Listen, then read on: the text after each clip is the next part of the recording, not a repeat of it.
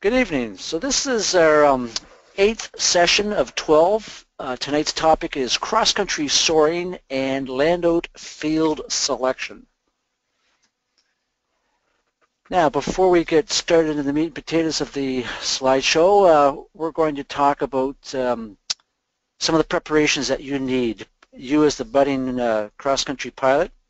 It is an introductory presentation on getting started in cross-country soaring and landing out. So topics include um, preparations, we're going to talk about use the budding pilot, paperwork, and so forth, um, reiterating uh, types of lift, a brief introduction to polar curves, um, tips on help you on your first cross-country task, and things to be aware of when landing out. So with respect to preparations, um, as part of the preparation needed, we need to discuss you as the budding cross-country pilot and the necessary and recommended paperwork. Of course, you need the proper attitude to go cross-country soaring. You need uh, to have a positive attitude, you need to have the confidence and the willingness to cut the apron strings and get beyond your home field. Um, of course, before we start any flying session, you're always you're always going through the, the acronym, the I'm safe, and that is I for illness, that you're not feeling ill. Your medication, if you're taking any medication, it's not going to affect your decision-making skills. Uh, you're under just normal stress. You shouldn't be under undue stress. Uh, that might affect your decision-making. You haven't uh, consumed alcohol in the last eight hours. Um, F, fatigue, you are not overly fatigued, you're not feeling fatigued, you're bright, you're active, you're alert, and E, you have eaten. So uh, you need to start the day with food in your stomach and consume food as the day progresses, and of course you need to bring some food with you on your cross-country flight, including something to drink. And then we're going to look at paperwork. So we're going to look at the, uh, the itinerary, what, you're, uh, what you plan on doing, things that need to be covered, and if this is a declaration flight, an FAI declaration flight for a badge, um, you need to do the necessary paperwork for that as well.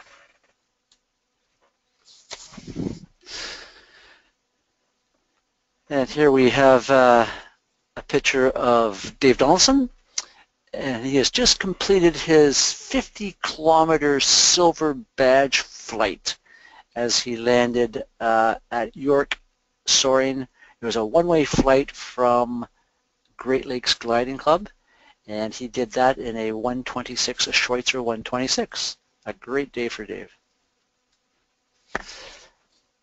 Now you might be wondering or asking yourself, what type of glider would be suitable for cross-country soaring? Well, as you can see from the previous slide, uh, 126s have been used uh, for cross-country soaring.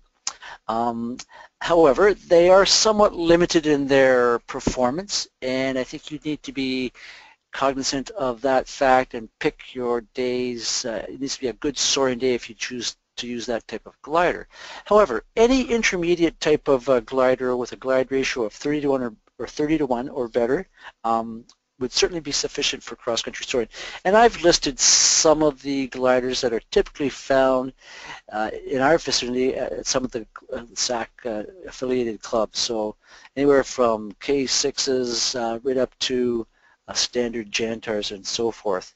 Um, many different types of gliders are suitable certainly for cross-country soaring. Um, and, and this list includes you know, both club and privately owned. And if you are renting these type of gliders from your uh, club, they should be relatively reasonable to rent. And if you are looking to purchase any one of these, they don't require massive funds to purchase. So anyone's listed there, and that's just that's just a small list. There's other gliders certainly that would fill the bill, but these ones would certainly be suitable um, for cross-country soaring. So with respect to skills, your club will um, want you to have acquired the following badges uh, before they're going to allow you to take one of their ships out on a cross-country flight. So you need to have completed your A, B, and C badges. And of course, the A badge is your first solo flight. The B badge is a 30-minute flight from an aero-tow release. The C badge is two hours total solo time. in addition to a one-hour soaring flight. And then, of course, the bronze badge, which was actually developed, um, designed to prepare you for your first cross-country flight. It includes the fact that you need your glider pilot license, two soaring flights of two hours, three spot landings, and that when we define a spot landing, that's where you have to clear a one meter obstacle and land within 150 meters of a designated stopping point. And you need to do three consecutive spot landings for you to uh, have completed that part of the badge. You also need to demonstrate the ability to assemble and disassemble the glider. Um, in case, of course, you happen to land out, and of course you need to have some theoretical soaring knowledge. The two soaring flights of two hours, that's just, again, to demonstrate that you can find thermals and sustain yourself in lift for a duration period of time. Now, building on your skills, taking small steps is always a good way to go. And uh, what we suggest is that you start to create some small tasks, small in, small tasks that help you build your skill, build your confidence. Uh, starting to venture a little bit further away from the field, but still within gliding range. And some examples include things like dolphin flying, and that's simply where you uh, will slow down and lift and speed up and sink, and uh, basically your flight resembles like a small roller coaster ride. Um, flying upwind after thermaling, so you're going to cap out a, a thermal, you're going to take it to the top, and then you're going to just head out upwind, and maybe just fly straight, see how far you can go without circling. Um, certainly keeping in mind that, that when you get to that point where, okay, I think I need to turn back because you want to make sure that you've got enough altitude to make your your home field. So just again, just trying a few different things that maybe you haven't been trying in some of your local flights. Um, another example might be to fly with a shepherd, and basically what that means is it's like team flying. So you've uh, found someone in your club that's got cross-country experience, and they've agreed to to go up with you. So they're in their ship, you're in yours, and you're going to basically follow them. They're the shepherd, you're the sheep, and they're going to lead you from thermal to thermal. They're going to lead you on a task that basically if you sort of emulate them and follow what they've been doing, you should be successful in staying up and, uh, and, maybe completing a small task within uh, within a short distance from your field. The nice thing about uh, flying with someone uh, that has uh, cross-country experience is that they're able to mark the thermals for you and therefore you can sort of see the thermals, what they're going for, why they're going for a certain thermal, why they're going for a certain cloud. Um, if they've marked it for you, it should just be a matter of you uh, following them, uh, following thermal protocol, so make sure that you're going in the same direction that they're going in because they'll obviously have initiated that thermal first, they've gone into it first, and you're just basically following them around the sky. and uh, um, it's a great way to learn the ropes of cross-country soaring. Another excellent um, uh, step to, to build on your skills is to get involved with the Condor Simulator. Um, this is a, a an internet-based program that allows you to fly a number of different types of gliders, both low performance and super high performance, all within the confines of the, the comforts of your home in front of a computer screen. And uh, it allows you to uh, uh, emulate flying a glider without uh, actually being in the cockpit of a real glider. So you're going to learn how to winch, you can learn how to aero tow, you're going to learn how to find thermals, you're going to learn how to core thermals, and then you can set a number of different tasks. You can keep something really small, you can follow a set task that actually that's provided for you within the program depending on which uh, which one you choose. Depends on the scenery that you've decided to uh, follow. I mean, it's a great program. Uh, you do have to buy into it, so it's a one-time fee that gives you the right to uh, to join these different tasks or create your own task or if you even get to the point where you want to race against other people. Uh, it's a worldwide um, simulator program, so certainly I've I've been involved with that. And on Monday nights, it's called the Monday Night Soaring. You can certainly fly against other pilots from around the world on a, a set task, and there's always you know first, second, third place. You can see the results at the end of the uh, the following day. But it's just a great program that truly um, gives you the sensation of flying gliders without actually uh, being in one. It, it's it's a very it's a very good program to uh, to help build your skills. And it's a great way to keep sort of fresh. Uh, if you're not flying obviously in the wintertime, then get on Condor and uh, it, it feels like you're right there. So, so you can use this to sort of build your cross-country skills like while being safe, like a sandbox to play in. Absolutely. Yeah, that's that's the whole key. It's it's it's virtually flying a glider without actually being in one, and uh, I mean it it it follows everything that you'll come into play with respect to cross-country flying and, and actually flying a glider. It's very, very realistic. Um, so with respect to our skill building, of course, when I'm talking about these skills that I've just mentioned, um, these are all within the confines of your of your club field. So you're all practicing these skills while you're still flying local cross-country flights.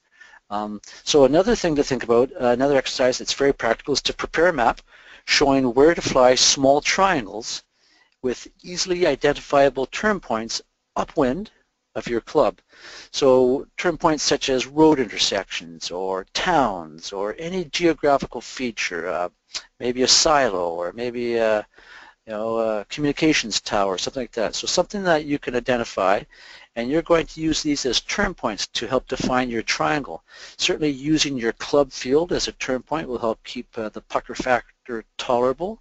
And these are just small, very easily flown triangles that will again allow you to get back to the club should you have to bail out on, on the task. The height required to reach the club field anywhere along the triangle is marked on the route and uh, of course you, you want to make sure you've added a thousand feet to each of these indicated heights to allow for that proper circuit when you do get back to the field if that's the case.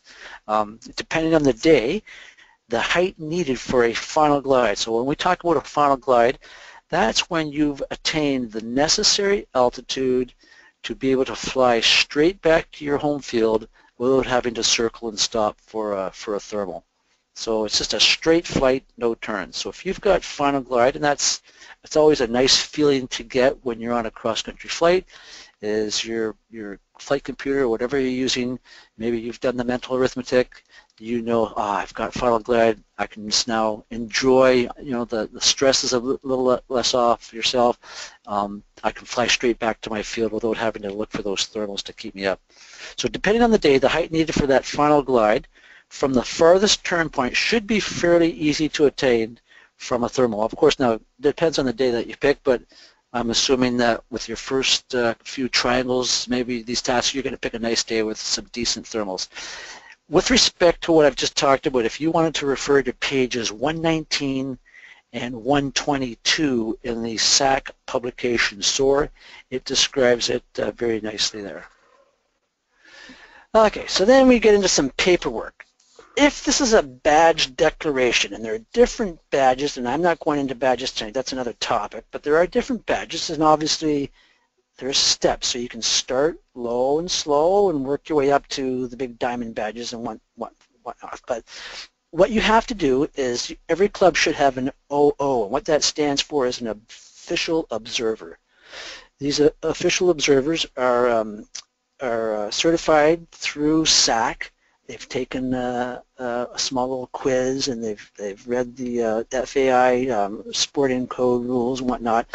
So as long as you've uh, you've declared this with your OO, they will be able to refer you to the necessary FAI paperwork, and all of this stuff is available um, on the SAC webpage. I believe underneath documents. So FAI is, uh, it's French, it's Fédération de Aéronautique de International, or something along that line, excuse my French. Um, but it's an internationally recognized achievement, uh, these badges in the soaring community.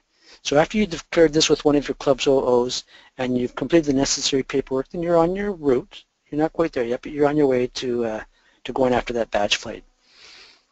In the event that your GPS uh, does not want to cooperate with you, then you should have a prepared map prior to your cross-country flight. And in fact, this is an FAI requirement for the silver um, badge, for the 50 kilometer portion of your silver badge. You may not use a GPS for that flight. You have to use uh, charts or maps. And I suggest that you, you, well, you have to get the latest version of NavCan's F, uh, VFR navigation chart and usually the uh, 1 to 500,000 scale works best for that. Uh, plot your task. Uh, so plot your task using straight lines and mark your turn points. Now, your 50 kilometer flight does not have to be a triangle. In fact, it might very well be just a straight flight. Mine was, and so was uh, Dave's. We flew straight from Great Lakes to York Soaring, which is just over 50 kilometers, so it worked out perfectly. Um, so again, a, a straight point-to-point flight might be totally fine and totally suitable for your first uh, 50 kilometer silver badge flight. Jim, can I pop in for a sec? Certainly. Uh, another option for your 50K, which can sometimes help with the I'm getting too far from home, is if you fly east 25 kilometers, turn around and fly west 50 kilometers, and then turn east again and fly back home that counts right. as well. So uh, you don't have to land at your destination. So it's not like you have to take off and land at York Soaring or some other destination. Um, you can, as long as you fly 50 kilometers in a straight line somewhere um, between two points. So one, one way you could consider doing it is, is kind of fly 25K out one way, head back to the field, pass overhead, and then go 25K the other way, and then, you know, head back. The, the nice thing about what Dave just described is that you're never more than 25 kilometers from your home field. So that could keep it a little more uh, tolerable for some pilots that just don't want to quite get that far away. Now, you're still going to be far enough away where you're going to have to thermal. You're not going to have final glide, depending, of course, on your glider that you're using, but it might be a little bit more um, easier to assimilate and, and, get through your mind that, okay, i am going to go 25 kilometers east 50 kilometers west, and then I've only got another 25 kilometers back east to get back to my home field. You good, Dave? Yep, that sounds great. Okay, so um, so the uh, oh, hang on. Okay, next next slide. So in terms of your planning uh, on the map that you're preparing, let's say you're preparing a map for um, some. Again, this could be a, a local flight, or it could be a uh, a flight where you are actually going to get away from the club. Um, suggestion is to draw five or six concentric circles. So concentric basically means it's like a bullseye. It's like a bullseye in a, um, a target for uh, shooting arrows, right, archery. So draw, draw five or six concentric circles about uh, five or say 10 kilometer increments centered around your home field. Now, the purpose of these circles is to enable you to readily estimate your distance from home when you're getting close and the altitude required to get there. So you're basically turning the map into an oversimplified glide calculator. You'll need to learn the altitudes needed to make progress against different wind strengths and write these on the map beside the concentric circles. So you always need to be aware of headwinds and tailwinds. So you're going to mark both a headwind and a tailwind speed to fly. And again, when you refer to those maps on page 120 2 and 119 on your SACS, or I believe it shows you what I'm talking about. So you're going to mark both the head and a tailwind speed to fly. And basically a good rule of thumb is that for a, for a headwind, you're going to add one half to one third the wind speed to the speed for best LD. And that's going to help you give your best penetration in, into the wind. For a tailwind, you're going to subtract one half to one third of the tailwind speed from the speed for the best LD. And that will tell you the speed at which you fly. So essentially, you're flying a little faster into the wind and you're slowing down with a tailwind, making best use of the efficiency of the glider. And then also on this map, it would be a good idea to note uh, you know, known airports and airstrips in case you happen to get low and you're thinking, oh, I might be landing out. Airports and airstrips are, make great land out fields. Okay, so you're cutting the apron springs. You're, you're, you've done your paperwork and you're keen to go. So this is the quick picture. This is my 50 kilometer flight. Uh, same location. Dave and I both, uh, of course, on different days, but we both went to York Soaring and I was in a borrowed glider. Um, thanks to Nancy Eber and Kerry Kirby, I was able to borrow uh, Nancy's glider and um, flew to York on a 50 kilometer one-way flight. I landed, got my paperwork signed, actually bought a tow, and then flew back to my home field. So it was a kind of a nice day. Um, lovely day. And uh, brought back some good memories just looking at these pictures again. So preparations. So need to prepare yourself and let's start with the trailer. So you obviously every glider that you're going to fly should have a trailer, or at least have a trailer accessible to you so that you can bring it back if you happen to do a one-way flight or if you get caught landing out. So obviously it needs to be serviceable. You need to check the lights, make sure the brakes are working, the tires are inflated, that you've got a spare. Bearings should have been greased within the last couple of years. Make sure you bring a wing stand because that's going to help you when you de-rig your glider. And any tools, so both for the trailer and for any glider items. You'll need to bring any rudder and aileron locks, any dollies for your fuselage and tail for the fuselage, tail uh, dolly for the glider. And make sure that you're taking the right trailer. So usually um, uh, identify, I spelled that wrong, should be identified to each other. Usually most trailers have uh, either the contest letters or some sort of identifying um, markings on it saying that this is the trailer that goes with this glider. So just make sure you, you've got the right trailer. It'd be terrible if you went and picked up a glider and you got the wrong trailer. So on, so on that note, uh, on the wrong trailer note, just a quick fun little story. Um, uh, one of the clubs, I think it was SOSA, bought a K6 from BC, from like Vancouver, BC, and the guy drove up to the club one night, picked up one of the two K6 trailers, drove out to BC, opened the trailer to load their new glider onto their empty trailer, discovered he had grabbed the full trailer, not the empty trailer. Had to drive all the way back to Ontario, swap trailers, drive all the way back out to BC with the empty trailer. Yeah. So check your trailer. Might be good to open it and look inside. I mean, uh, most people have some sort of identification on their trailer, or they at least know, yeah, yeah, that's Jim's trailer, that's Dave's trailer, and and uh, it's good to go. But um, you know, if you're in a contest or if you're on a different field, maybe you're flying off of a different field, just make sure that people know that your trailer uh, is, is, is known. So with respect to um, preparation for the tow vehicle, you want to make sure that uh, you've got a tow bar with the correct ball size. So there are commonly it's 1 and 7 eighths and 2 inches are the different ball sizes. So you want to make sure you've got the right one. And if you're not sure, then carry both. Uh, emergency money. Now, it seems more and more I'm hearing that uh, in order for people to get their gliders out of a out of a field, some farmers are charging a fee. And I think this is happening more in the U.S. than it is in Canada. I've landed out, I think, six times, and I haven't paid a fee yet. Um, but it's always good to have some money on hand in the event that you you do have to, or if you've landed in someone's crop and uh, the farmer's not too pleased, so then at least you can offer to pay for what he thinks would be a reasonable um, compensation for the crop damage. So it's always nice to have some emergency money, or if you happen to you know, run into some car problems or that type of thing.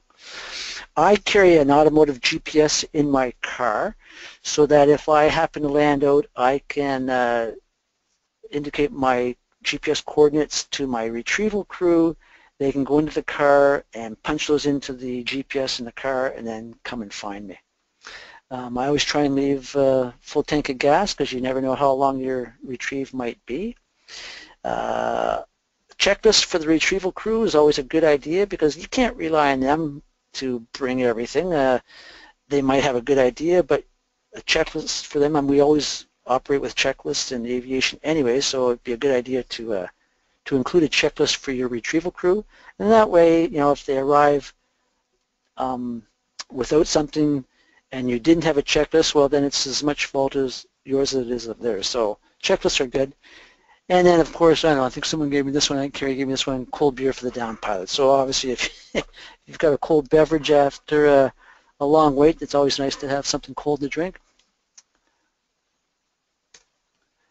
And the retrieve. Okay, so in the event that you've landed out, uh, make sure that you are not flying your glider with your car keys in your pocket. Pretty hard for people to start your car when you've got the keys up, uh, God knows where you are. So I just leave my car keys in the ignition and if there's any trailer keys, you want to make sure that they're either left in the lock or in the magnetic key holder or what have you. So make sure they're accessible. If you've landed out, you need to inform your retrieval crew of your landing coordinates and any cell phone numbers should be given to your retrieve crew. And if there's any road maps required, uh, if it's an area that's not too known, road maps are always a good idea. So either a, a, map of Ontario or actually I've got a map of Simcoe County, so something on a smaller scale that um, makes it easy for people to come and get me. Okay, so the day before, pre-cross-country checklist. So you've secured a tow pilot. So what happens, I know at our field, is sometimes we'll fly midweek. Most of our operations with the club activities are on the weekends, but the private pilots, if we've got a good day through the week, uh, we get on the phone and we say, yeah, it's looking good for Wednesday. We've got a nice high over Chicago. It's going to come in. Wednesday looks like a nice, beautiful soaring day. So the first thing we do is we make sure we've got a, a tow pilot. We've checked the weather.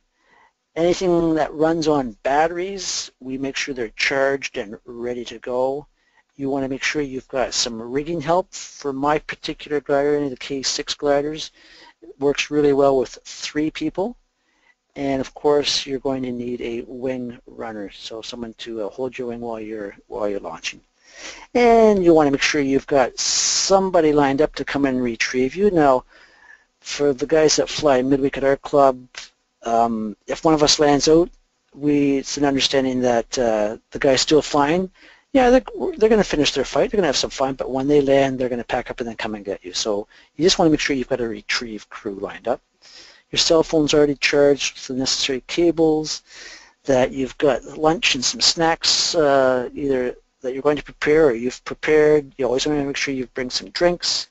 You've got the necessary maps and any frequencies of any uh, outlying airports or uh, things that you need and your flight computer. So if you're running like a Dell Streak or an Oudie, you want to make sure it's all uh, charged up and you've got your task uh, maybe inputted into it or at least the uh, turn points ready to go.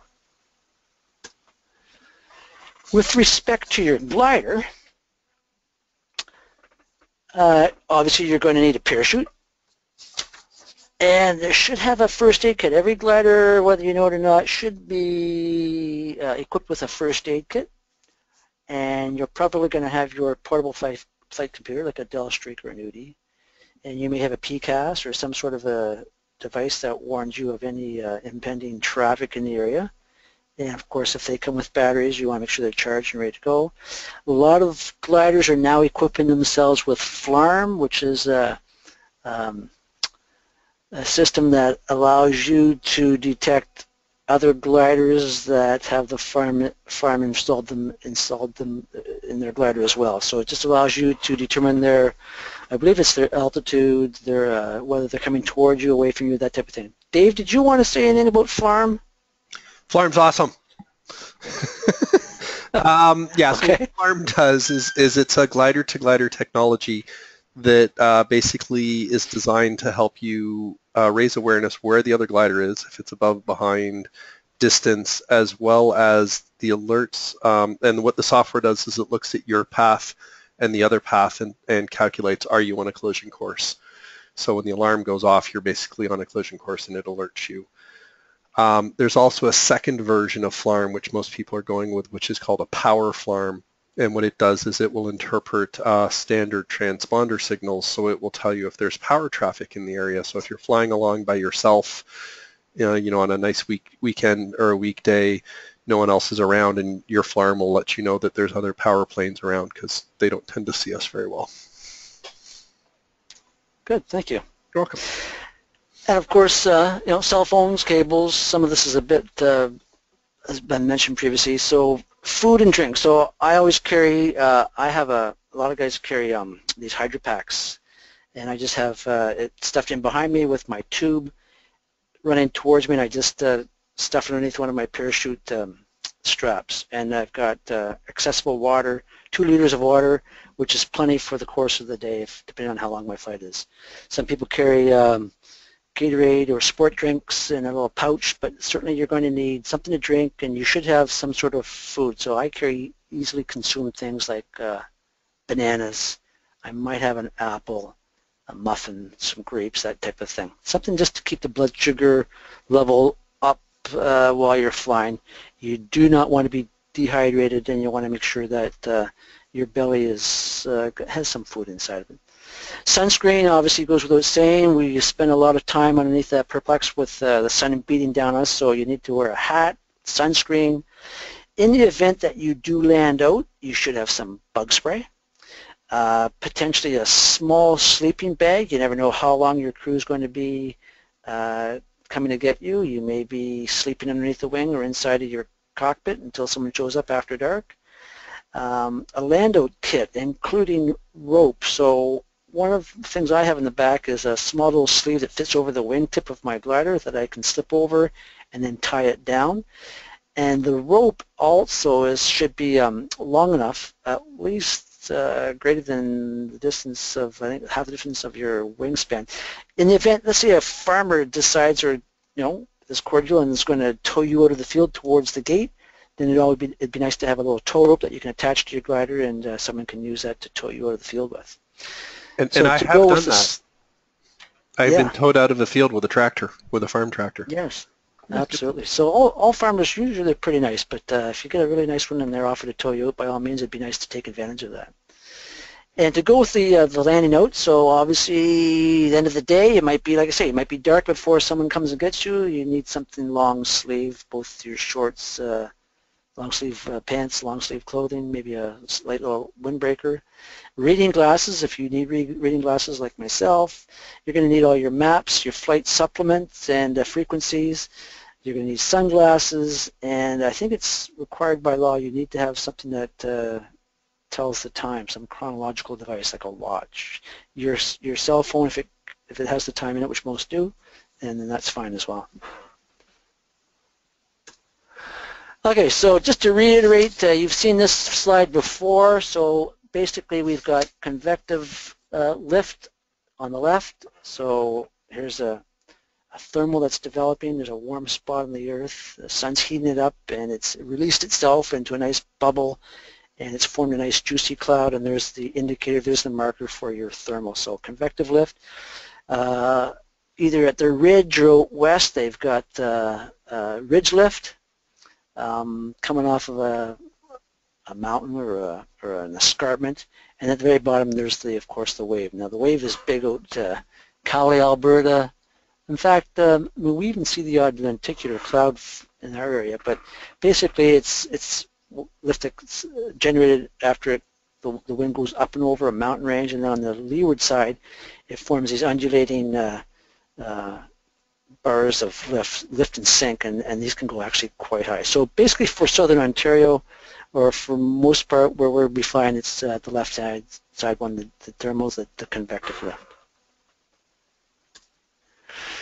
And this is, if you've seen this before, this is just a little computer-generated thing of uh, glider, and they're going on the cross country. So you can see that uh, the red circles, they're climbing in lift.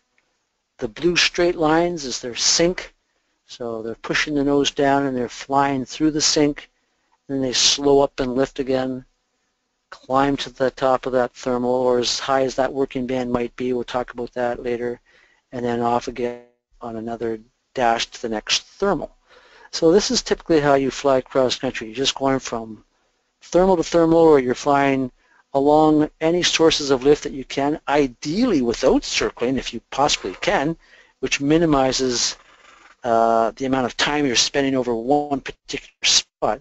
You got to think of thermals like gas stations. So if you can reduce the number of gas stations, then you're going to fly further and probably faster, which enables you to put in some decent cross-country distances. Now, before I go into sink and speed rates, uh, does anybody have any questions at this point in time? Uh, yes, Jim, we actually do have a couple. So the first one uh, is from Svetvan. What is a spot landing? So you referred to a spot landing earlier. Yeah, so part of your bronze badge, and Dave, you might have to help me with the exact uh, parameters of that, but I know you have to go over, I think it's a meter high obstacle and land within, and what's the yardage or what's the meters? One, but you, you've got to do it on 150 meters? Yep. So you have to do that on three consecutive flights. So typically you get a nice day with just a little bit of a headwind or maybe a, a decent headwind. Good day to do some spot landing because you're going to be able to bring that glider down in a specified distance and stop before you roll past the 150 meter mark. Right. And Dave, you want to add anything to that? Absolutely. And and the the idea here is we're we want you to demonstrate the skill that you can put it over a uh, fence because a typical fence is one meter high, and that you can get down and stopped in a relatively uh, well a very short distance. And the idea here is that we're simulating an off landing into a farmer's field. And the idea of the three consecutive is if you do it once, it could be a fluke right? So we want to see that you can, you know, reliably do this. Is is kind of what the idea is. So when we say three consecutive, we mean in the same day as well. Um, uh, it actually, there, I don't believe it has to be the same day. It just, no? okay. it, it's just three consecutive flights. So if you do two on one day and one on the next day, okay. I think that's acceptable. But you can't do it like, ooh, I got a, I got one spot landing, and then you try three more times, and then you get another one, and that's two. No, it has to right. be three consecutive, so that you're basically demonstrating you can repeat this on demand. I think most people find the, the, the nice day to do it on, and they, they try and bang off all three in the same day. But I guess yeah, you don't yeah. have to do them on the same day. No, you don't have to. Just have to be three. The, the, key word is consecutive. Correct. Um, the second. Other, another question. Yeah, yeah, we've got actually two more. Um, the next one is a closed task. Are, are closed tasks considered cross country? And by closed tasks, I think um, he means like if you do like a like a triangle and then come back home. I think anytime you venture away from your your club field, whether it's uh, a downwind dash or whether it's a triangular or whether it's a, a box shape, uh, all those can be considered cross country. So cross country is you've gone beyond your club where you have to find lift in order to get back. In other words, you just can't go like five kilometers north and then five kilometers east and, and then come back to your club. You have got to go beyond the the parameters of the um, the efficiency of your glider. You have to find lift in order for you to get back to the field. So that was what we could sort of simply define as a cross-country flight. And if that's in a triangular shape or a box, what have you, then by all means, it's cross-country. Fantastic. Does that answer the Yeah, no, absolutely. Um, another one from, and this one's from Roger actually. Uh, can you do cross-country with an instructor or is the weight too heavy? No, we've actually, um, uh, 2007, we actually entered one of our um, uh, trainers, 27 to 1 glide ratio, uh, all metal glider, great visibility, but not real pretty to rig and rig. But we actually put an instructor in the back with the student up front, uh, was the instructor, and they actually entered the uh, provincial contest and flew the task successfully and uh, no landouts. So by all means, you can do a cross-country task with an instructor. Great way to learn if you've got uh, a nice two-place uh, glider with decent um, performance. Absolutely, and and Kerry's the guy to talk to on that. Um, he's been known to do this on I wouldn't say a regular basis, but he's. I remember Alan one day sending out an email and his GPS traces. They went out past Orangeville and back in the Krosno, and he thought this was just the greatest thing ever. so yeah, you can absolutely do that. Um, and, and keeping in mind, of course, uh, as Jim mentioned earlier, you can plan those small steps. So there's a lot of little airports around us and you want to just, you know, start to get your legs a little bit. We can plan a, you know what, let's fly out 5K or 10K, fly back, but let's plan it so that there's airports you can land at. So if you do have to land out, you know, we can send the tow plane and, and tow you home, right? Because there are approved airfields that we can use for that. Which actually leads into our next question, which how does retrieval work if you land out using one of the club's gliders? David, would you like to address that? Sure. So um, now, if you land out in the Krosno, um, it's it's a big, heavy beast to de-rig, and you need like five, six people. So we, we discourage that. However, the K6 and the Jantar, they're lovely ships to fly, and they're lovely ships to rig and de-rig. So it's it's just like if you're flying your own private ship. Make sure that you have some people available to, to retrieve you, make sure that the trailer is ready. The real difference here is that you're going to be using your vehicle on effectively someone else's trailer. So, you know, if you have your own glider and your own trailer, it's all going to be set up. Make sure that you have an adequate tow vehicle and that it is there on the field, hooked up, and that the trailer is ready to go. So once you do get into cross country, um, you know, if you want to do a, a, couple of short ones with Carrie and the Krosno, great way to start. And then when you get up into the into the K6 or even the Jantar, you know, absolutely sign them out, uh, touch base with with um, the board just to let them know that you're taking it. Um, you are responsible for any expenses. So if you damage the glider, for example, you're going to pay the deductible, um, which is, you know, you're going to pay that anyways if it was yours or, or the club ships. And yeah, go for it. We have two serviceable trailers. You know, we encourage that. Absolutely. I mean, I think that's the natural progression for anyone that stays with the sport is is you want to go cross country. You want to sort of flex your muscles, expand your wings, and see what's out there beyond five kilometers from the field.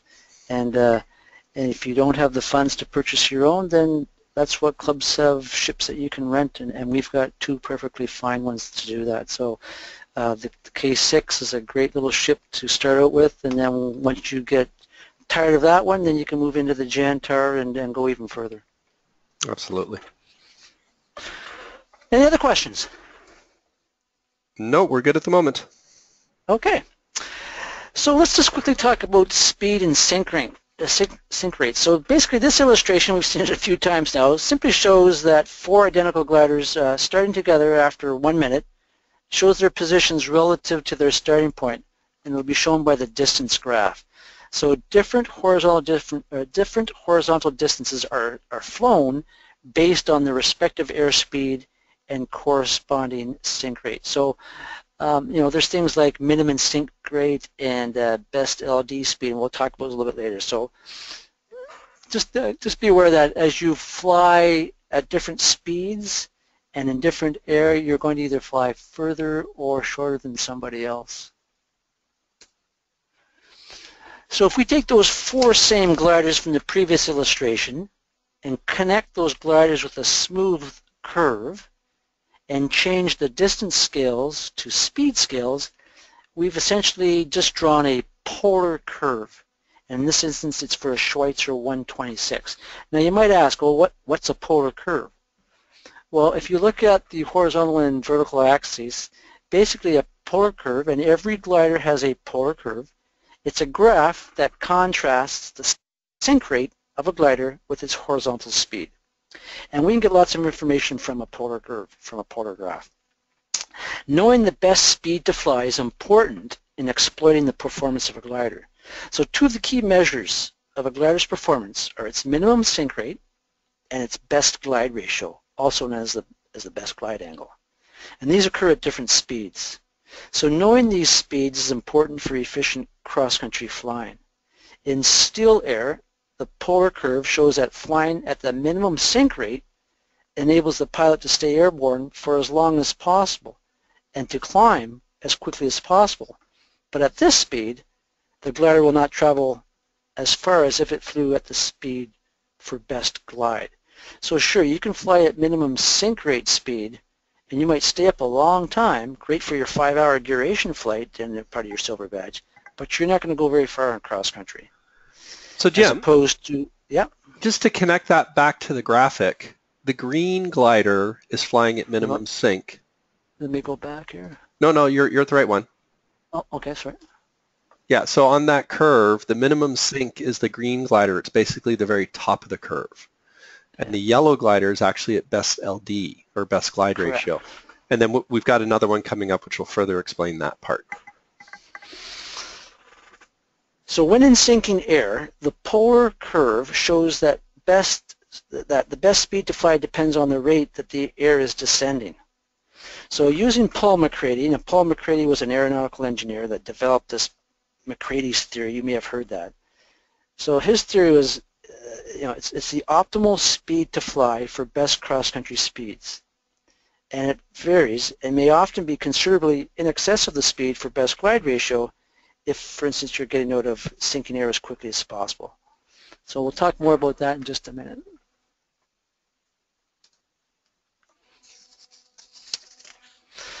So if we started this exercise with the four gliders, and let's say we just, for sake of argument, started them at 320 feet above the ground. The red glider is already on the ground, so you can see it's already landed.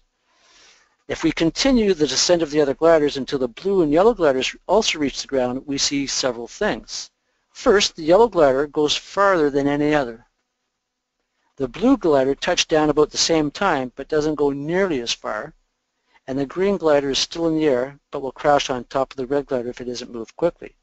So what we've seen here is that the yellow glider has the best glide ratio of all the gliders. And again, using that polar curve, it will help you give this useful information. And quite often, flight computers in uh, some of these fancier gliders will do this automatically for you. So it tells you the best speed to fly at. It tells you whether you've got final glide, whether you're going to make it to your destination, and so on and so forth. But polar, polar curves can give you this information. You need to study them, extract the information you can because it's for that particular glider, and then apply it to your conditions at hand. So it kind of gives you like a rule of thumb. You're not going to carry a polar curve up with you in a cockpit, but you can at least derive that information during some of your preparation work, and then you could have like a chart or you can have some figures written down that you know will apply to you whether you're flying into a headwind or using a tailwind. So sinking air. This illustration shows sinking air, how it affects our glide. So here the red glider is sinking faster than the yellow glider, but it's moving horizontally much faster. So even though it's sinking faster, it's going through the air horizontally much faster. So the, the end result is that it gets out of the sinking air at a higher altitude than the yellow glider. So generally, rule of thumb, it's better to speed up and sink and slow down in the lift.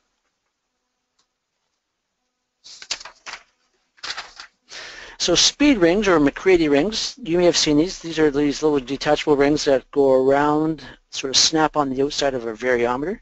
They were invented by Paul MacCready, who was an aeronautical engineer, as I mentioned, to derive the optimum speed to fly between thermals. So the speed ring is adjustable. Uh, but for our current definition of speed to fly, it should be set with the arrow on the ring pointing to zero on the variometer. So when the variometer points to any rate of descent, it is also pointing to the corresponding speed to fly. And that's the outside numbers. So those outside numbers on the ring, those are the numbers, those are the, that's your, that's your airspeed. So you've already predetermined that based on your polar curve, based on your glider.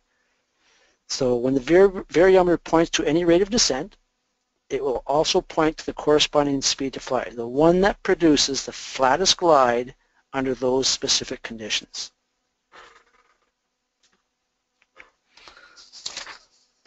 Okay, Jim, we're almost, yep, why, why don't we do our break here because it's about uh, the halfway point and I think this is probably a pretty good spot. beautiful. I don't have a watch on, so I'm glad you mentioned It, that. Okay, it, it's like two minutes to eight.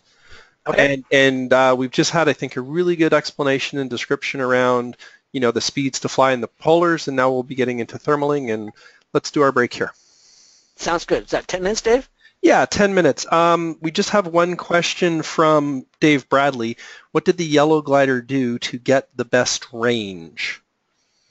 So it flew at the best speed to fly based on the, the sink that it was in, based on the speed that he chose to fly at. So he flew the furthest because he was good at determining the best speed at which to fly given the conditions that he was flying through.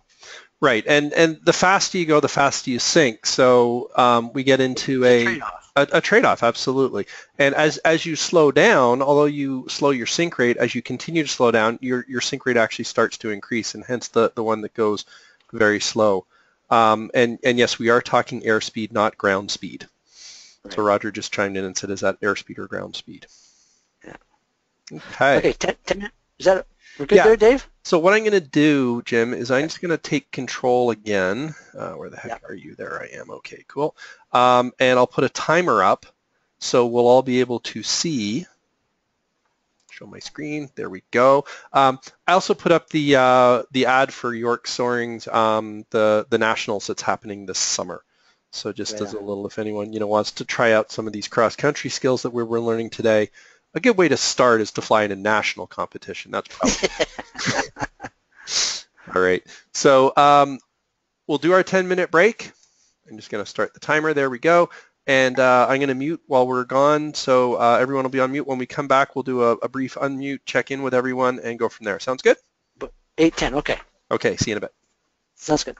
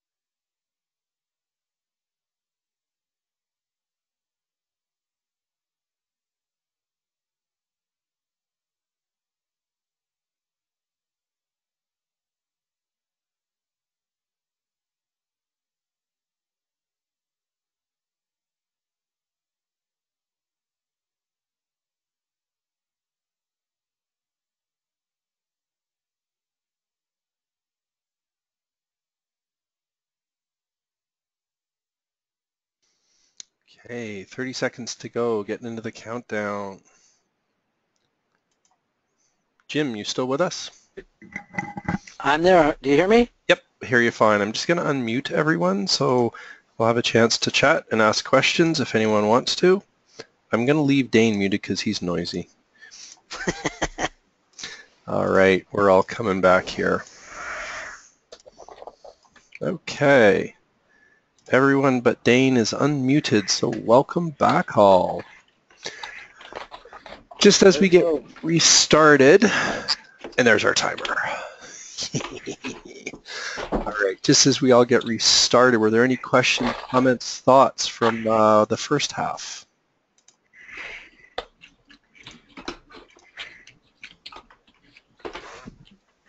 Nope. Okay.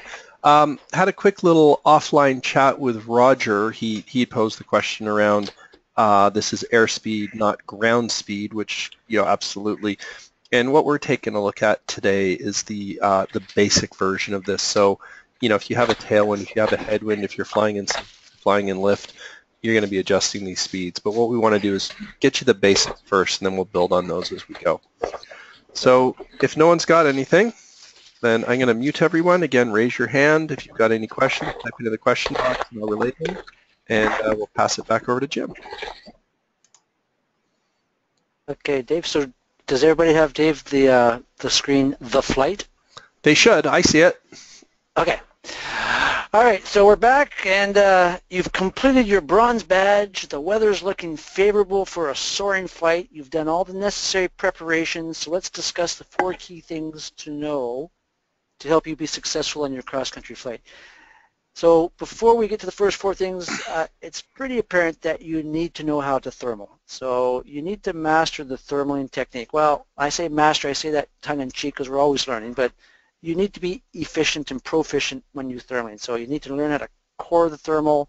You need to know um, how to get to the top of it, or at least to the top third of it, or the top two-thirds of it as quickly as possible. So before you go on, there are four things. You need to know how to find thermals, what to look for. You need to know where to go. So you've just come off tow and, you know, okay, now what do I do? You need to go, you need to know how fast to go between the thermals and you need to know when to stop and top up your gas tank and when to thermal. Oh, now why did that go down? Oh no, what's going on? Click once on your screen. Yeah, just click, click right in the middle of the slide once, and then it should start working. There we go. Okay, how to find thermals. So finding the first thermal. So the advantage of an aerotow, well, most of us uh, use aerotows. Um, the advantage of that is that you can be released in a thermal. So right off tow, you're in lift, which is wonderful. It can be advantageous to release in a thermal, then continue. It can be advantageous to release in a thermal actually before you get towed to a predetermined release height because sometimes you, oh, I've paid for a 2,000 foot tow, I'm going to go right to 2,000 feet, and you're not being released in lift, you're in sink. So then you're looking, you're looking, you're looking, and you're getting lower. Why not get off before 2000 when you're in a thermal and uh, you know you can judge what it's like when you fly through with a tow plane, get off and climb up to the top of it and, and go on from there. And it's going to cost you less if you've got a club that uh, charges you by either 100 feet or a 1,000 foot mark. So by all means, it can be very advantageous to release in a thermal and continue to be towed to a predetermined release height. So you're at the, you've released, you're going to first of all explore the conditions before venturing off to establish where the lift is with respect to the clouds. So you want to find out, is the lift on the sunny side of the cloud? Is it on the dark side of the cloud? Is it on, you need to sort of explore and feel out what the conditions are before you all of a sudden dash off. Spacing of the thermals is directly proportional to the height of the convection layer. So the rule of thumb is that is that there's a direct relationship between the depth of the convection layer and the strength of the thermals.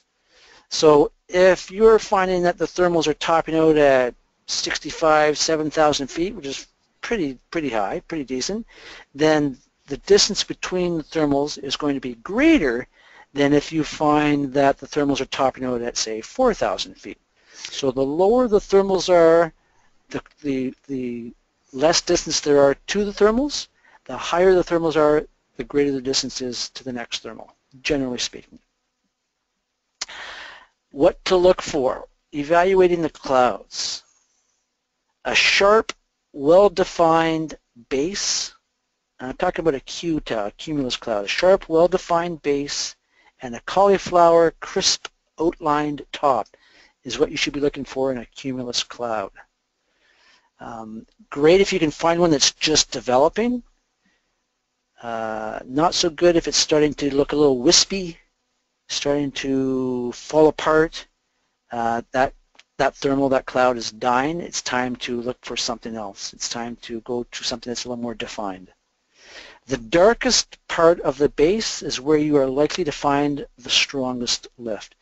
And of course, when you do find a thermal and you're taking it up, uh, rules say that we have to stay 500 feet beneath the base of the cloud. We are not allowed to fly through cloud. Now, not all cumulus clouds have a thermal beneath them. And I'm not exactly sure what the percentage is. It's something like 1 in 4 may not have any lift associated with that cloud. So it's, it's a cloud, but there's no thermal associated with it. So don't always expect to find lift under every single Q that you fly to.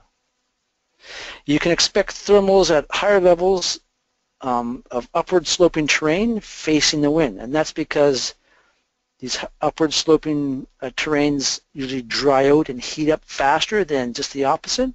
So typically that would be a nice source or could be a good source of, of a thermal. Uh, look for haze domes on blue days. So haze domes, that's when you see you know, slight hazing.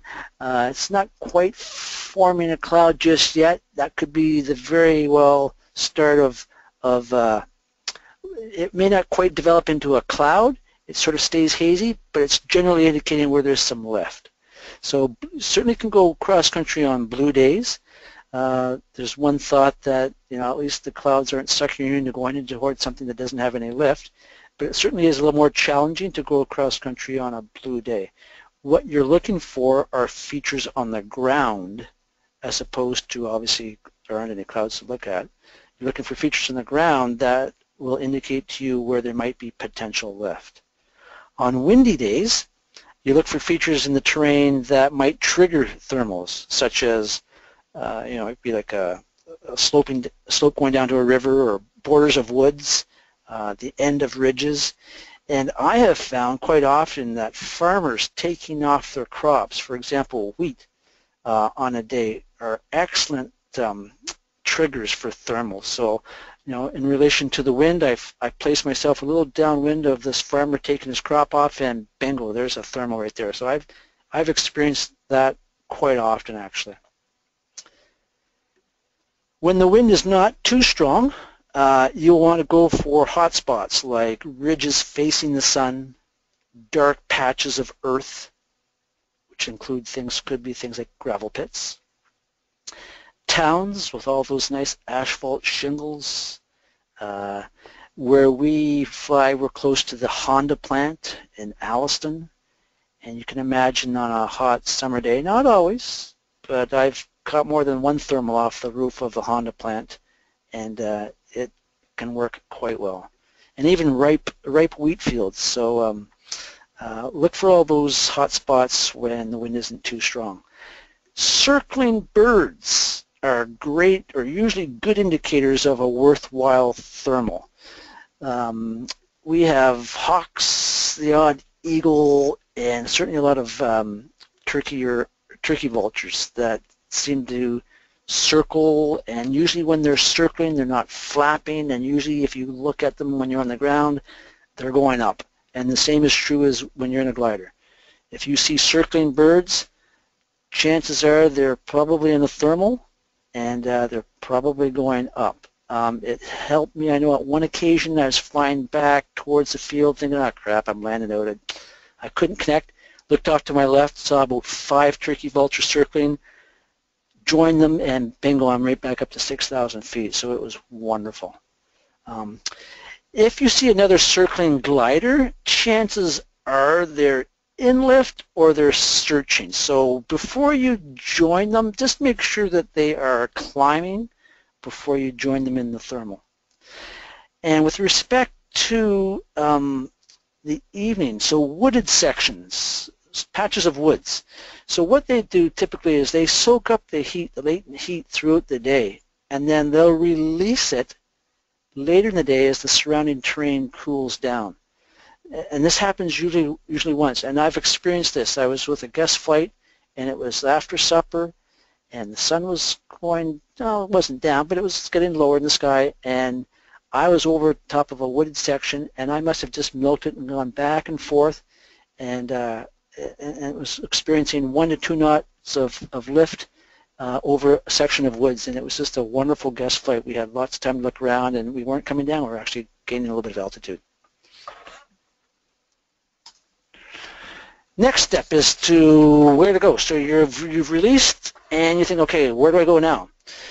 If you're flying in prolonged sink, so you might want to resist the temptation to turn back 180 degrees and head home because like you're, you're like, oh my gosh, oh my gosh, I'm in sink, I, I, I'm not going anywhere. If you do this immediately after heading out, you might want to resist that temptation because what you're going to do is you're going to fly back through the sink that you just flew through and may find yourself with marginal altitude to reach your club field. So a better tactic would maybe to turn 90 degrees and stay on that heading until the sink subsides. You might find some lift and then you can get back on course. Generally, the cycle time for thermals on an average soaring day is about 20 minutes or so. So thermals do not last a long time, but if a spot on the Earth, if, if the source of a thermal is coming from something, generally that'll kick off another thermal throughout the day. So uh, a certain spot on the Earth can generate numerous thermals throughout the day. In hilly or mountainous regions, stay over the higher terrain, and you should know where to go before reaching the top of a climb. So as you're climbing, you're evaluating, you're looking ahead, you're staying ahead of the glider, you're looking to see, okay, I, I want to go in that direction, what's the cloud situation looking in my on my intended uh, route. Try to evaluate and select the next climb while climbing, having a backup or two in case your first choice doesn't work out. So maybe you've picked out a couple clouds, you've always got a backup. So you're always evaluating, you're always checking out the, the skies ahead of where you want to go. Judging the distance to the next cloud can best be done by looking at the cloud's shadow on the ground. So when you see the shadow on the ground and you see the next shadow, you can sort of judge how far that next cloud is and whether you've got uh, the legs to get there. On a windy day, strive to stay upwind of the course line at all times. I think I mentioned this earlier. It's always nice to be upwind uh, when you're flying a course line because it's a lot faster flying with a tailwind than it is trying to claw your way upwind.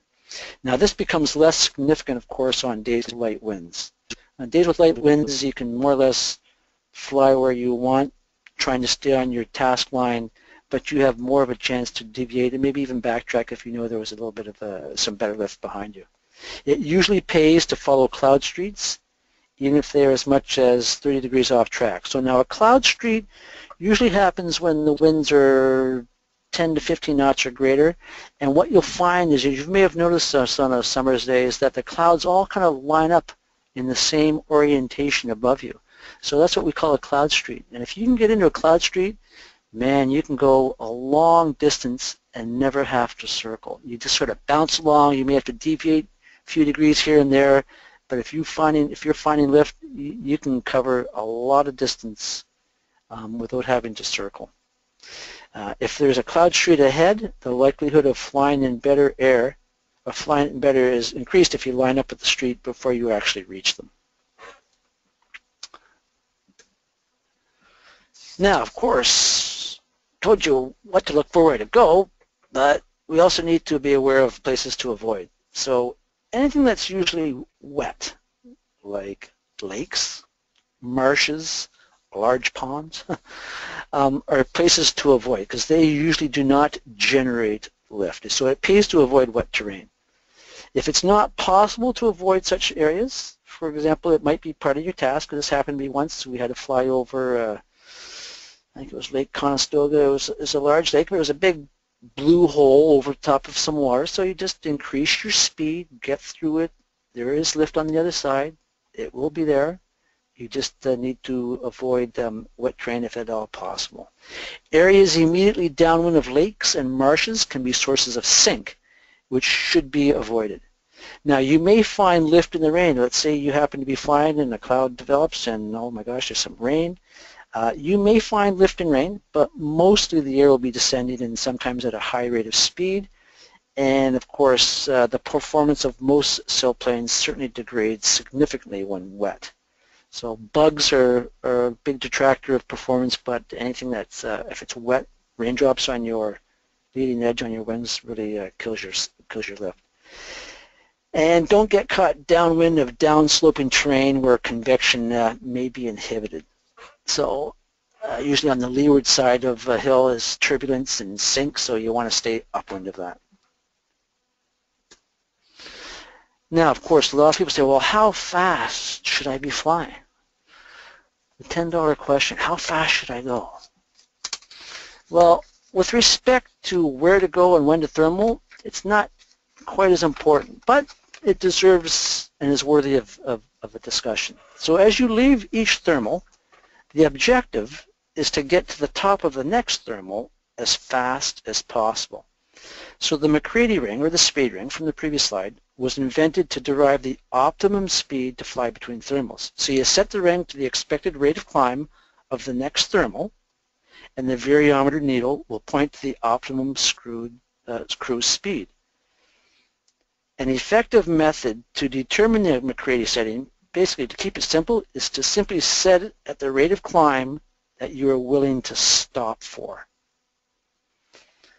Now, attempting to fly at MacCready speeds also has its inherent problems as well. So if you are really poor at predicting what the air is doing ahead of you, so idea is you set the ring at what you think the next thermal is going to give you in terms of uh, rate of climb. So poorly predicting what the air is doing ahead of you may affect your timing, whether to stop and circle for a thermal or whether to press on. You may fly too far into the thermal and accidentally exit on the weak side, or worse, regain cruising speed while in heavy sink if you elect not to use the thermal. So some people use MacCready rings, uh, some people don't. On initial cross-country flights, so maybe on your first cross-country flight, and you just don't want to be overwhelmed by all this information, you might do equally well by not varying your speed all that much. Um, even if you choose not to adhere to MacCready, your mean cruising speeds, they need to be in accordance with the conditions, therefore be ready to change gears. So a general rule of thumb is this. So to determine optimum cruise uh, speeds to fly, so determining optimum speeds to fly for head and tailwinds. For a headwind, you add one half to one third of the headwind speed to the glider's best LD speed. So you should know your glider's best LD speed from the polar curve, or maybe you've got that uh, in your the, the manual of the uh, of the glider itself. So you're adding one half to one third of the headwind speed to the glider's best LD speed for a headwind. For a tailwind, you subtract one half to one third of the tailwind speed to the glider's best LD speed. And those are just general rules of thumb.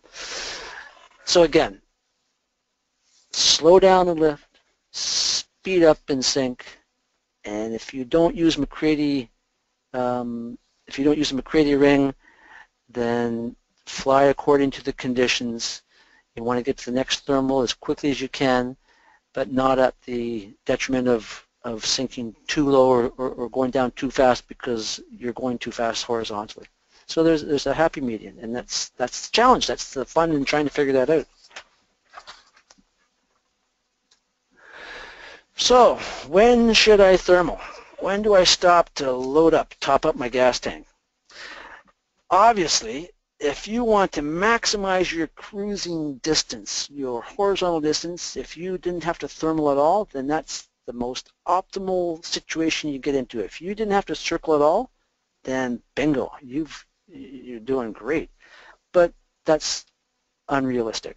So what you want to try and do is minimize that as much as you can because basically when you're circling horizontally you're going nowhere over the ground. In fact, if there's a if you're beating into the headwind, you're actually being pushed back a little bit. So if you can minimize your circling by finding um, areas of lift between thermals, then by all means slow down and just maximize that lift without circling, that would be wonderful. And that's where that dolphin flying sort of comes into effect. So the most effective way to improve your average cross-country speed is to minimize circling. When you are circling, you're going nowhere horizontally, but hopefully you're going up. During the time you spend evaluating conditions before heading out, you should decide on the minimum rate of climb you are willing to stop for. So let's see in your evaluation of the thermals uh, after your release, and you've done some exploring and you're sort of flying locally for about half an hour, 20 minutes, and you think, okay, these thermals are working at, uh, yeah, I'm getting the odd thermal at 2, but mostly are between 3 and 4, the other one going 5 and 6. I'm going to, you know what, I'm not going to stop for anything less than 4 knots. So then you've decided on the minimum rate of, of climb you're willing to stop for. But prepare to change this with changing conditions. So you might find as you head out, geez, you know, the clouds are getting a little further apart. I might have to alter my course, or they don't seem to be as strong as they used to be. So I might have to be willing to stop for something a little less strong than I did at the beginning. Your present altitude will also influence your choice of thermals. So the closer you are to cloud base, the more selective you should be. Theoretically, the operating, or what we call the working band, is considered the upper two-thirds of the convection layer. So typically when you look at a thermal underneath a cloud, it starts off fairly narrow, then it usually widens, and as it rises, it usually gets stronger, and then towards cloud base, sometimes they typically taper off. So in that stretch from ground to cloud base, there's a section called the working band, and it's usually the upper two-thirds of that convective layer. So rule of thumb, and uh, I've been told this by one of our club members, you know, get high and stay high. So if you don't want to follow that working band, um, if you get high, stay in that upper two-thirds of that convection layer and then try and, and keep that, that altitude throughout your height. Now you may not always be able to do that. If you fall below it, then it may be a bit of a struggle getting back into it. But generally speaking, there is this working band and you want to stay there. When low, um, turn 45 degrees right away in a thermal. So optimum bank angle has been proven to be 45 degrees. And when you're low, you want to make sure that uh, you try and core that thermal as fast as you can. Uh, and obviously, you might want to add a little extra speed when you're doing that. At higher altitudes, it might be advantageous to hold off for a few seconds when you fly into a thermal until the rate of climb meets your expectations. So you don't necessarily turn right away. You might want to fly into it for a couple seconds and then figure is my left wing rising, my right wing rising, I'm going to turn into the wing that rises and try and find that core as quickly as you can. This may allow you to find and center the, thor the thermal core quicker.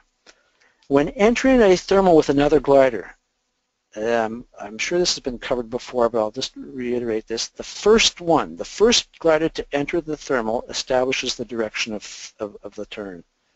So that's why back in that previous slide is before you cross, before you go cross country, you need to master your thermaling.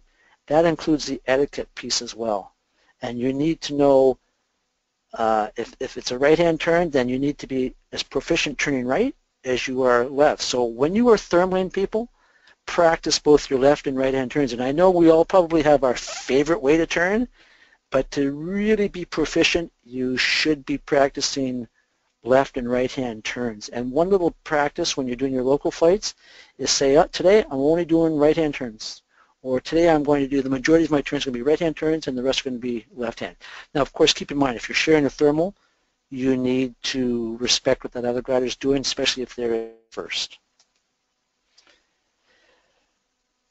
When to leave a thermal, leave the thermal when the rate of climb drops to about two-thirds of uh, your mean uh, your mean uh, climb rate. So if you've got an averager in your uh, variometer, then if you've got about two-thirds of what that's averaging, then it's time to go. So basically, when the thermal starts to weaken, it's time to get out of there because you're going to spend too long staying into a, a thermal that's weakening before you move on to the next one. You want to stay in thermals that are always strong and that's why it's always best to stay in that upper two-thirds and to leave two-thirds of what that thermal is typically kicking out. So usually you leave the thermal before you go to the very top of it.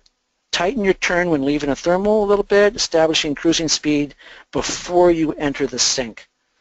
And situational awareness is crucial at all times. So you want to be always aware of what's going on around you, what the conditions are like ahead of you, if, especially if you're flying with another glider, always be ahead of your glider.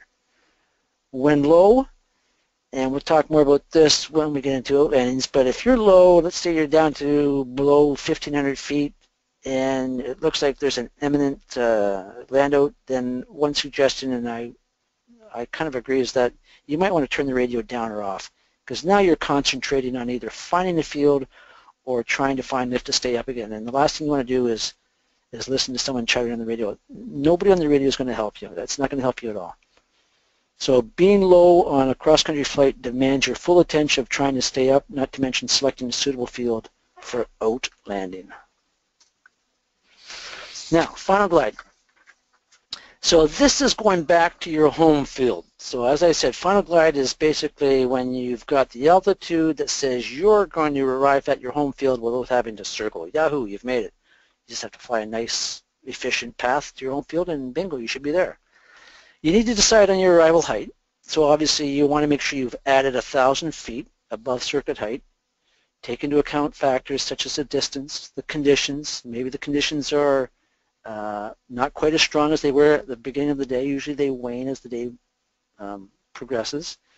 And maybe you've got some wind velocity changes with altitude. So keep all that those factors in mind. It may be prudent to add some additional margin, especially on a long final glide and if the sky looks doubtful. Allow for higher terrain en route. So if you happen to happen to uh, need to fly over a ridge or a escarpment, keep that in mind. To justify a turn when low. So you're on final glide and you think, oh crap, I'm not sure if I'm going to make it. And you've just gone through some marginal lift you want to make sure that before you turn, because when you turn you're going to lose altitude unless you're in lift. That lift has to be fairly solid. It may pay to simply slow down or make an S turn through the lift, and that might just be enough to get you back to your field. When closer to home and on the ground, it's crucial to have a plan, and you need to know exactly where and how to get the, glider safely on the ground. This is a slide of one of my cross-country flights, and I did this with two other guys. Two of us were in a K6 uh, E glider. The other guy was in a, uh, a PW5, and we flew clockwise, so our home field, and we flew up the uh, west side of Lake Simcoe and across to the north, crossed at the Narrows by Orillia, and then you can see the return route on the eastern side of Lake Simcoe. We're quite a ways away from the lake. So I remember I talked to you about staying clear of wet areas. Well, obviously there's a big sinkhole over Lake Simcoe. So we were finding good lift uh, a few kilometers obviously off the, the uh, east shore of Lake Simcoe. Lift was fine. Uh, the winds were coming out of the northwest, but they were marginal. It wasn't strong winds at all. And uh, this was just a lovely flight to go around Lake Simcoe. So cross country is a lot of fun, especially when you go around places and do things. And this flight, for me, I think was about four, four and a half hours. And uh, a lot of good memories from that flight. So now we've entered landouts. So if you are venturing out in cross country, and if you stick with it long enough, your day will come where you're going to have to land off-field. So you're not going to make it back to your home field or you're not going to make it to your intended target where there might be a field. You're going to be landing out. And here's one of our club gliders and they have landed out. So you can see the field quickly looks like a nice cut wheat field. So uh, no crops and uh, nice successful landing. Everything's looking pretty good there. And here we have a Schweizer 126. This used to be Dave Donaldson's, one of his, uh, he was a partner in one of these, uh, this glider, and you can see he just landed in a potato field. Um, and being pulled out, he was pulled out, I guess this is the one where he's pulled out with the tractor, um, along the furrows aligned with the furrows of the potato field. But again, no damage to the glider, safe landing, nice and flat. You can see the terrain, nice and flat field, lots of room, um, a successful land out. Okay, so you're going to land out. Although somewhat anxious, you need to try and treat a land out as a, it's just a normal landing. This is when all your training kicks in. So all those circuits that you did as a student, this is where it all comes back into play now. Nothing's changed. You still fly. You know, a high key area, or at least an area where you can scout and look down and pick some fields. You fly the downwind, you fly your diagonal, and you fly your, your final. Give yourself enough altitude. And altitude means time to plan and fly a normal circuit.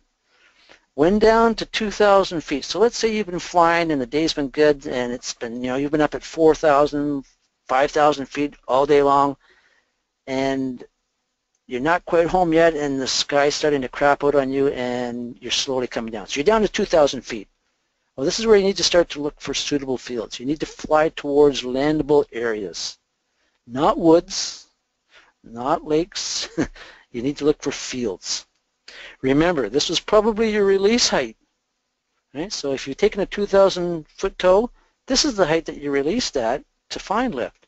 So relax, just fly towards landable areas. Don't panic. It may not be over just yet. You might find some lift. You might be able to sustain that, uh, that task and carry on. If you're still coming down at 1,500 feet, you need to start selecting some potential fields. Find two to three potential fields that you could think you could land at. Turn the radio down or off. It's not going to help you at this point. No one's going to talk you through a landing. You need to concentrate on landing that glider safely, keeping you safe. So you're considering a field so that your concentration is working full time. Turn the radio off. When down to 1,200 feet, you need to select a main and an alternate, and the alternate should be close enough to reach from final turn.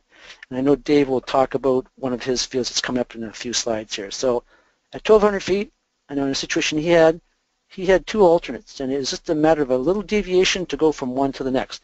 Because you're getting a bit lower now where you can start to see some features of the field. You can start to discount one over the other. You might find something. You might find, oh crap, there's a, a fence I didn't see, or oh, that's got some major divots or there's a ditch I didn't notice. So you might, you need to have an alternate if you can.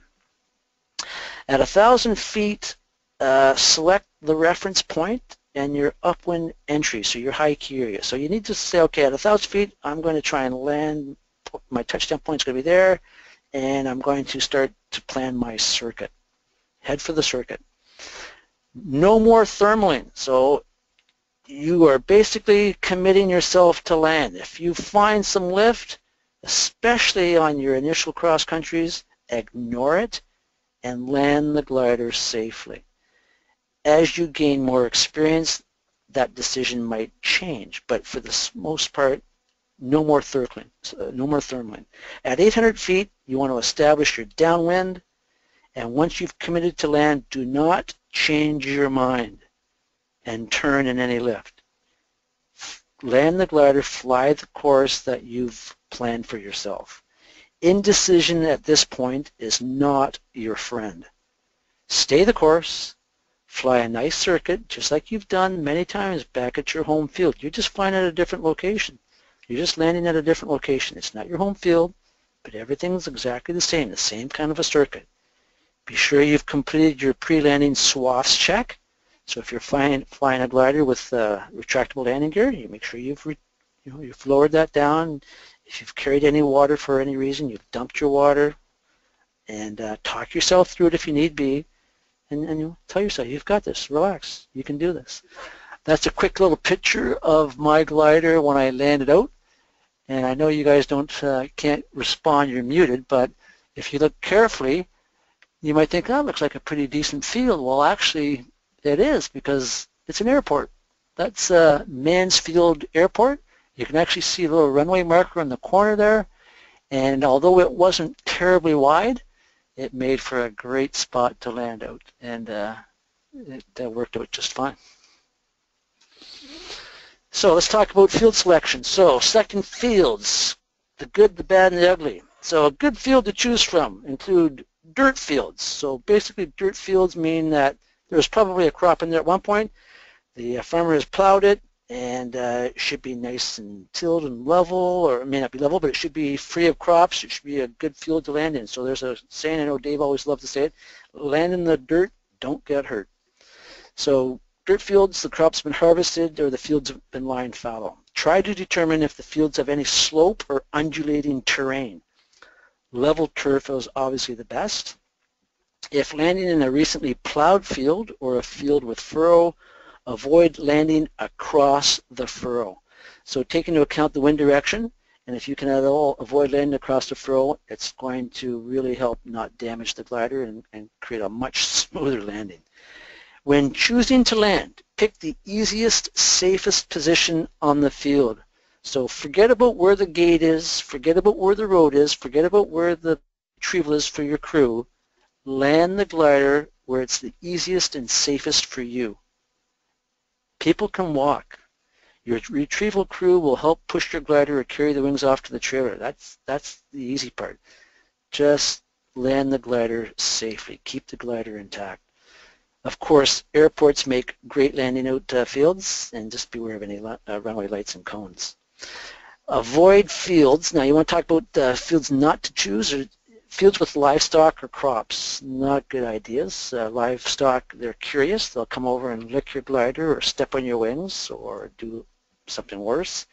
Um, crops aren't great. I know in southern Ontario, there's a little saying called 4th of July corn knee high.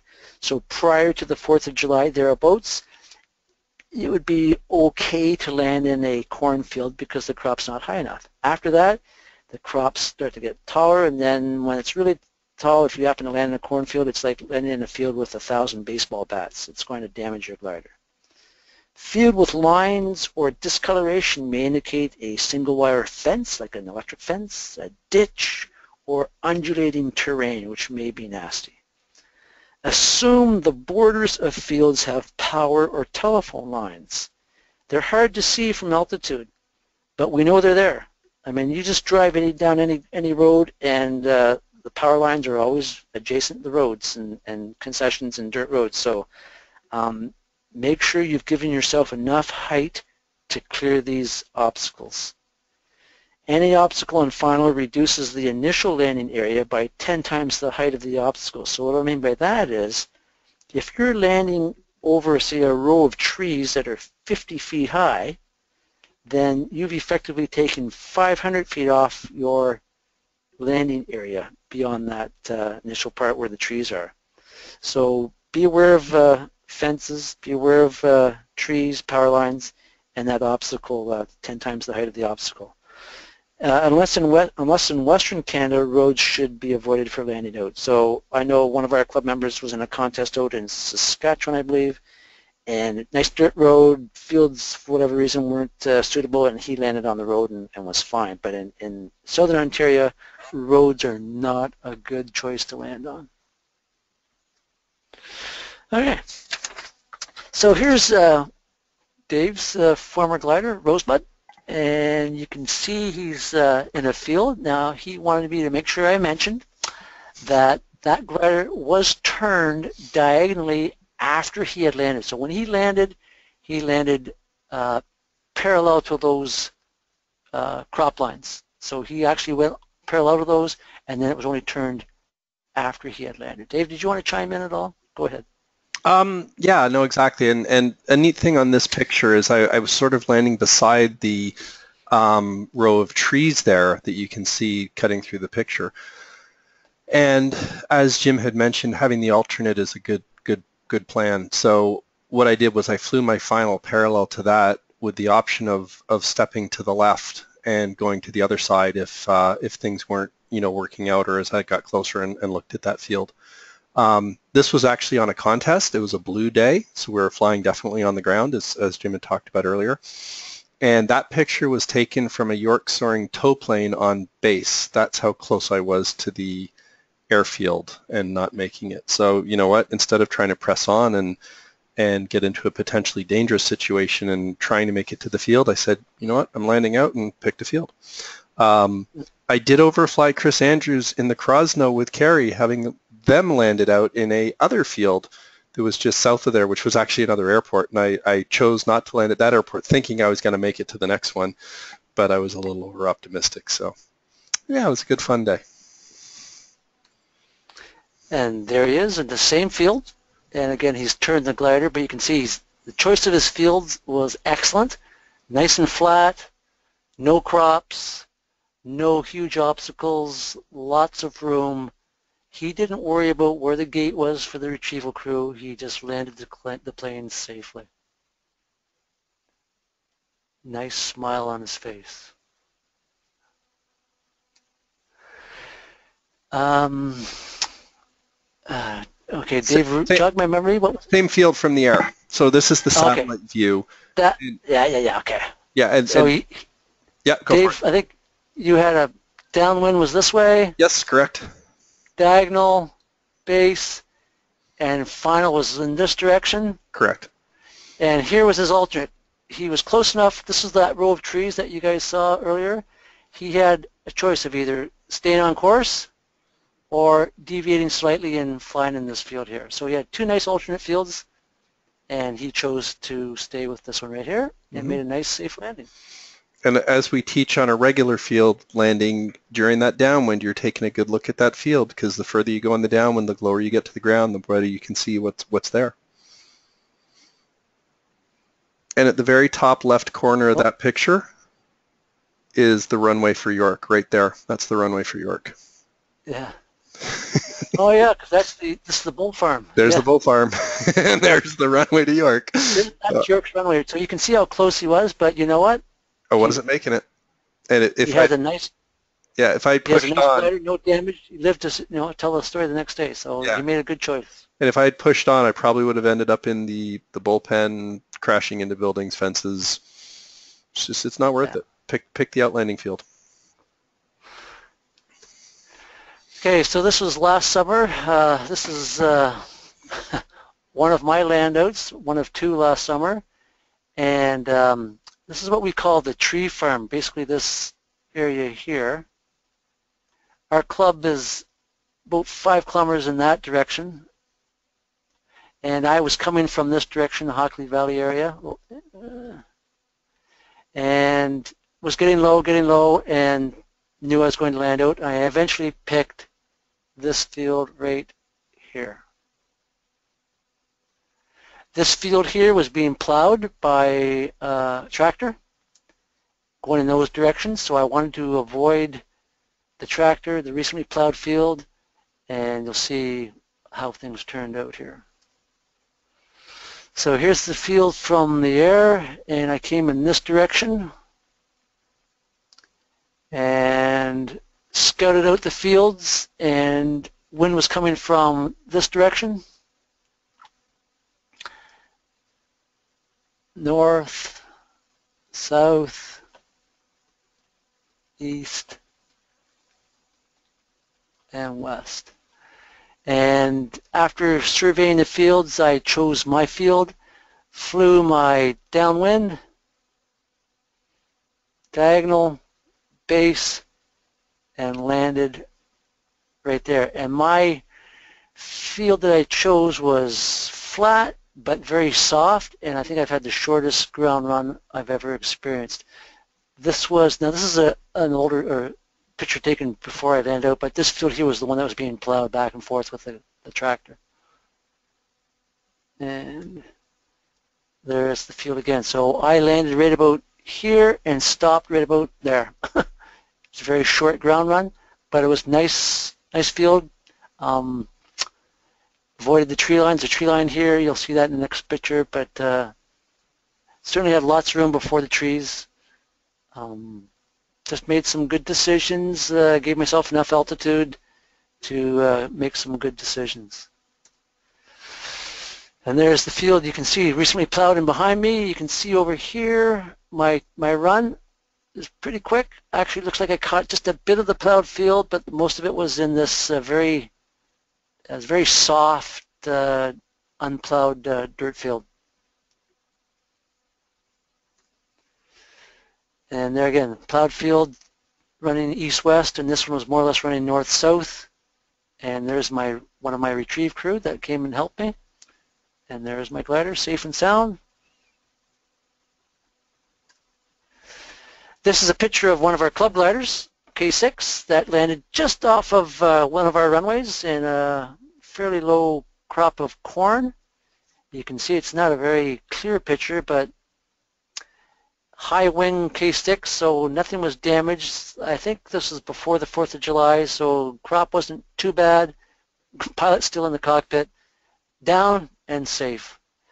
Um, were there other alternatives? Yeah, he was very close to the field, but like in Dave's situation, you know what? Didn't think he could make it, so flew a nice circuit and landed the aircraft. And I, I just want to chime in on this one, Jim. Um, the the pilot in question had gotten disoriented on the circuit, um, entered the circuit far too low, uh, was flying through the circuit with the intent to land, and then realizing he's not going to make it. And again, just as Jim indicated, he didn't push on to try to get back to the field he originally intended. He chose a safe alternate. Um, you know, so we, we really give him credit for making that decision because if he had tried to push on and and uh, you know not and, and tried to get to his original planned field, you know, returning to home base, um, we, we probably would have had a very bad outcome.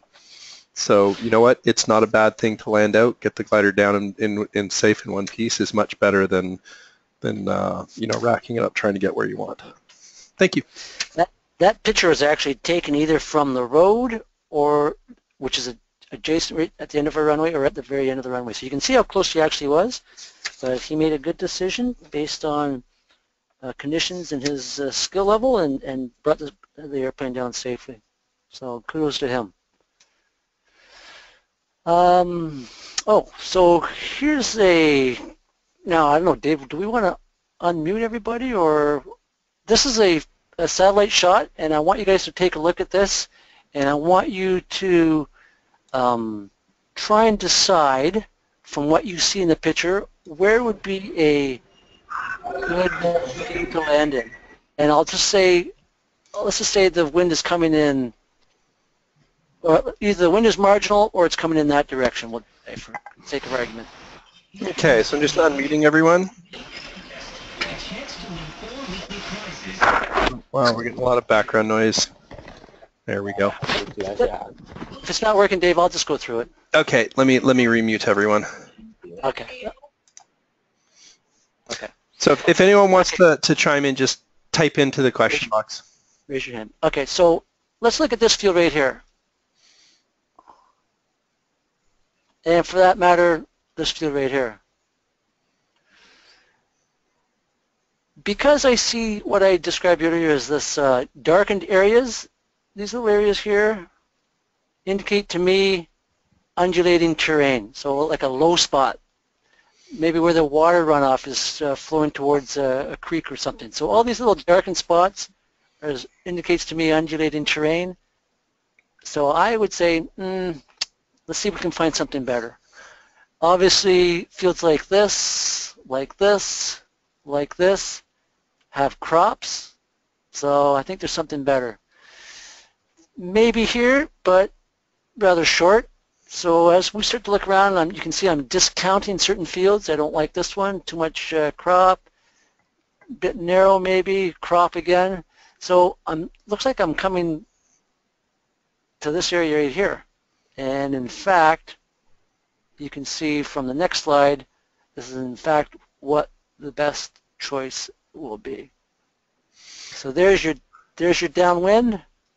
So Jim? There's your diagonal. Yeah. Just remove all of your drawings and then we'll be able to see a little bit better. Oh, okay, sorry. A little bit more. Uh, little bit, there you go. Erase all. There we, there go. we go. So you can see nice downwind. Look at this. They followed a nice little uh, either a road or a fence line, made a nice diagonal, base leg, and into wind, came over the trees. Lots of clearance there, no trees here, and beautiful landing right here. Doesn't matter whether the gate's over here or here, close to the road, they landed the plane safely.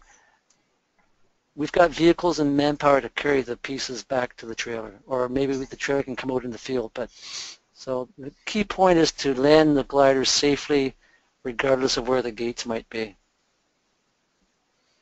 And there was a good one. pub in walking distance.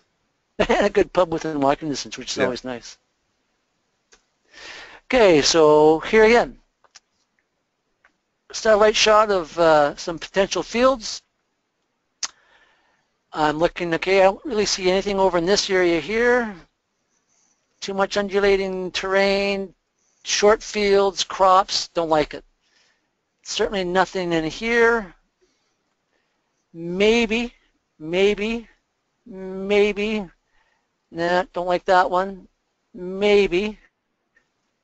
But if you look carefully, hmm, there is something that's going to pop out here in just a second. Let me just get rid of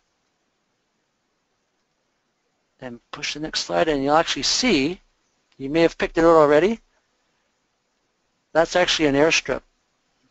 Now, pretty hard to tell if I know from this altitude, but as you get a little bit lower, it actually turns out to be a pretty decent little strip. Not really wide, but wide enough for a glider and nice and flat.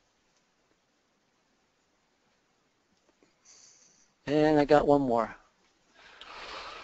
So, anybody from Great Lakes, if you don't recognize this,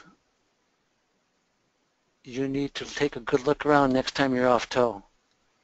You'll see this is our, what we call the S-bend, road to Beeton that way road to Loretto this way. And we've got some fields. Let's discount the fields. Don't like that one. Don't like this. Don't even like these. Maybe if we had to, but there's certainly something far better. And that's this one right in here. And that's the one from the picture with the yellow Krosno in the field. So if you guys remember that yellow Krosno, it was land, it had parked itself right about here, and there's the house across the street. And in fact, that was his landing, his landing, his outlanding field. So, Dave, just talk me through it. Where was your downwind? Um, so I was coming down from the north, realizing I'm not going to make it. Uh, I was a little bit more to the left, so kind of on the edge of the picture, and then just did a left turn. Yeah, so like that. Then did a left turn and a left turn into the field. A little bit further south, but yeah, you got the idea. Yeah. Okay. Yeah, so the, the circuit was, was further south. The circuit actually went off the bottom of the picture just a little bit.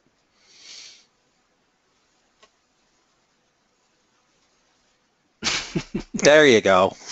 There, something like How- that. However, I have to admit, you know, it was not the best choice of fields. There's a better Elaborate. field. There's a better field in that picture. Oh, good point. Now, okay, so again, anybody from Great Lakes may have noticed this. There is a, there is another field that will become more apparent um, as we go to the next slide. And this, this field That- has a windsock. That is actually another. It's a private airstrip.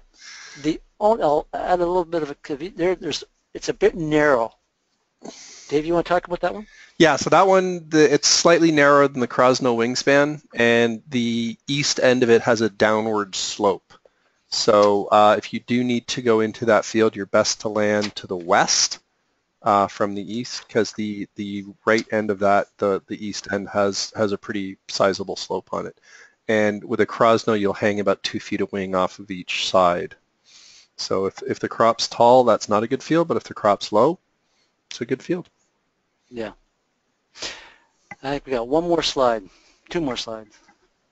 Okay, Okay, never really talked about low altitude saves, but basically on your initial cross country flights, don't is, is the definitive answer. Don't try low altitude saves. Wait till you get uh, old and foolish. But no, low altitude saves are very risky. Um, there have been some accidents. There have been some unfortunate accidents, and it's just not worth it. Far better to land and take the glider away, and there's always another day to fly. But if you try a low altitude save, you never know what might happen. And here's a picture of uh, an Air Cadet glider. Two instructors decided to do a low speed flyby, pulled up into a chandelle and didn't quite make it. So not exactly a low altitude save, but this is what's going to happen if uh, you don't have things planned and decided just perfectly. It's not worth it. And that basically takes us out of cross-country flying and off-field selection.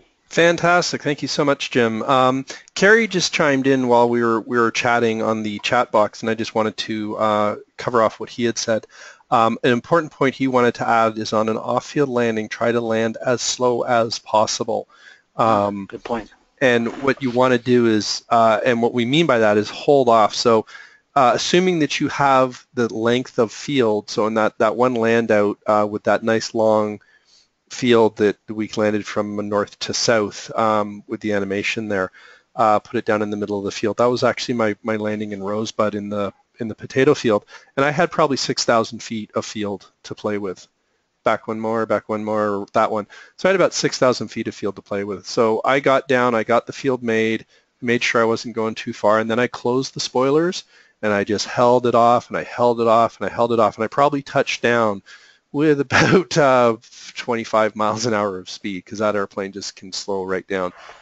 And you get next to no ground roll. Um, you touch the ground at a slower speed, so there's less energy to cause damage. Uh, your ground roll shorter. You know, it's just it's it's a really good way to come in. So, um, you know, you got a strange field, you don't know what rocks and holes are in the ground, that kind of stuff. So slow equals holding off. Now, of course, if you're heading towards a fence line or a barn or a tree line or something, then yeah, you know what, you need to, you might need to touch down a little bit more speed and, and, you know, potentially do a ground loop or something to get the airplane stopped. But the better you set up on your circuit, the better you fly it, the better you'll be able to position yourself well in the field and you look at the examples that we've shown, and all of these examples, uh, the people who landed out, you know, set themselves up with good good sized field and made sure that they they did the spot landing, and hence, you know, do the spot landing uh, skill first before you start going out on your on your cross countries. So I'm just going to open it up. Uh, just unmute everyone. I know we ran just a couple minutes over, but I appreciate your your time and patience with us. And if anyone has any questions or comments, please feel free.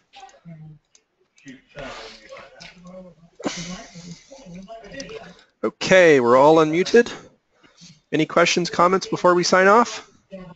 Quiz is available. Say again? Quiz is available.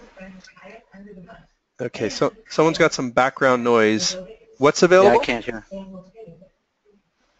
A cross-country quiz. Cross-country quiz. Yes, it is. Thank you so much. It is in the handouts area. I'll leave the, the webinar open for a few minutes for people to do that. Uh, it is in the in the handouts area, so if you click on your control panel under handouts, you'll see the XC quiz there. Should be 12 questions. Okay. Dave, what do you what do you guys usually find a reaction from farmers or the owners of other strips, uh, landing strips, when you guys uh, go and land outside? Um, the first thing is you got to remember that you are trespassing on someone's property. Now you have a legal right to do that because as an aircraft, uh, you are allowed to do that. Okay. Now, um, I probably should have maybe included a slide in there on on that very Yeah. note, Dave. on, on kind of If I could just add, if I could just add something, yeah. Sure. We, we, are ambassadors of the sport, so anytime we trespass on somebody's land, it's always good to play the good ambassador, to profusely apologize for trespassing on their land, to invite them to look at the glider. You want to try and win their support. You don't want to leave them irate. Um, you can certainly compensate them with money if they if they if you've damaged crops or what have you, but try and leave as a good ambassador. You know, if they've got kids, say, hey, have the kids come over and take a look at the glider and let them sit in the cockpit. Um, do whatever you can to smooth the waters, keep things positive, and to promote the sport. You know, I'm really sorry. Apologize. I'm sorry for landing in your field. Uh, I, I had no choice. Um, Offer them a flight. so, uh, well, you know, whatever you have to do, just to keep everything positive and uh, Mo- just don't want to leave. Most of them are happy that you're you're not you're not hurt and the aircraft's not damaged because they, they this- don't want to see that. In the Right. that I've had, I haven't had any irate uh, farmers. In fact, on two occasions, uh, there wasn't even nobody even around, around and wait around, and no one came. So we just retrieved the glider and left. And uh, but the people that were there, um, only too happy to help out and offer assistance. And one guy even drove me back to the club for crying out loud. So, you know, everything's worked out. Touchwood's really well so far. A, lot of it is how you first meet them. So if you kind of come walking in like you, you own the place and you're allowed to be there, it, it's it's not a good way to meet. You know, like Jim says, it's you know be respectful. You're you're you're an uninvited guest on their property. You're an intruder. You know, apologize for that. Explain that everything's fine and you're okay. And you know, invite them out to see the plane, and explain it, and be an ambassador to the sport. And that's probably one of the first questions they'll ask, and certainly has been in my cases, you know, ask, is everything okay? Are you okay? Is the glider okay? Like, because some people not knowing the sport or not knowing aviation in general, they think, have you crashed? You know, they think, oh, the big C word, is that a crash? You crashed? And you can just, you just have, have to reassure them that oh, everything's fine, this happens, sorry for landing here, and then just be a, be the good ambassador. Yeah. Okay. Excellent, great question. Thank you. Any others? Okay, so thank you again. Is Kerry, uh, Oh, yeah, Carrie? yeah, just a quick comment. On uh, probably over 50 outlandings, I think I've had two kind of un- unwieldy farmers. Uh, one, one I bought off for 100 bucks, and the other one was uh, uh, just a grouchy Jehovah Witness. So, you know, that- that's not bad. the voice of experience. Thank you so much, Kerry. Okay. Uh, if no one else has any other questions, we'll sign off for the evening, and we'll see you next week. Um, I forget what's on the table for next week. I think it's navigation or something. Oh no, wait, it's meteorology, isn't it, Carrie? Meteorology. Yeah, Carrie's going to walk us through meteorology next week. Then at the week after, we're going to look at some basic navigation stuff, and we're going to finish out our time with decision making. Okay, so if there's anything, feel free to send us an email in the interim. Otherwise, we'll see you next Tuesday at the same time, same bat channel, same bat time. All right, good night, everyone. Good night, everybody. Good night. Thank you. Mike? Good, thank you, good night.